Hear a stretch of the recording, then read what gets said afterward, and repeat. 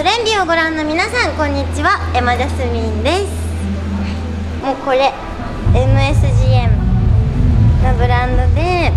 これ靴はウエスタンを合わせていて少しスペイシーなグリッターのかかったこのスカートと、まあ、MSGM って書いてある T シャツ。あとちょっとこのゆるっぽい感じで言うなら近代的なウエスタン？みたいな感じ。ねえ。そうローラさん滝沢カレンさんの後に来たからちょっとよく分かんなかったもんね。なんか本当一番最初のラーメンに戻った気分だった。初めの頃、まあ、新人の頃やってたようなラーメンに戻った気分で結構緊張しました。でもなんかローラさんとかも終わった後集合写真の時とかになんか話しかけてきてくれたりとかしてそこの集合写真でやっと緊張がほぐれた感じ。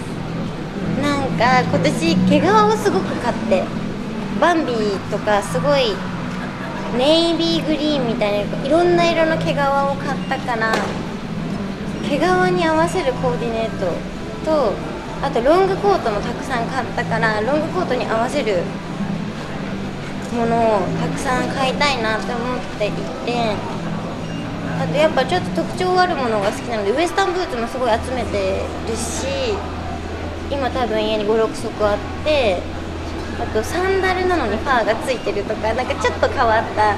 やつとかを集めてて小物で遊べてなんか大きいシルエットを一つバンって主役にできるようなコーデに今年はしたいなって思います。今年もかな。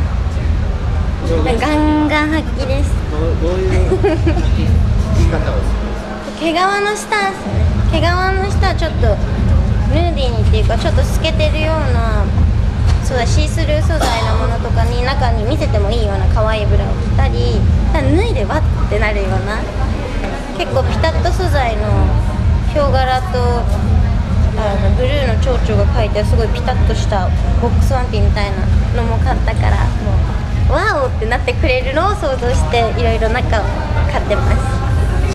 えっと告知は今ちょうどフライデーの、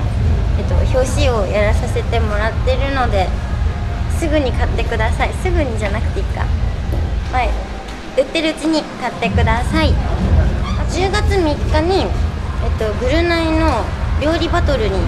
出てます。でちょっとルーレットにこう矢を当てて食材とかなんかいろんな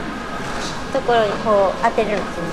ななんていうのキーワードみたいな。のがあってそれをもとに料理をしていくっていうコーナーに出てます。ぜひ見てください。あと今 T シャツのコラボで ENER っていうブランドと私がデザインしたあの絵というかの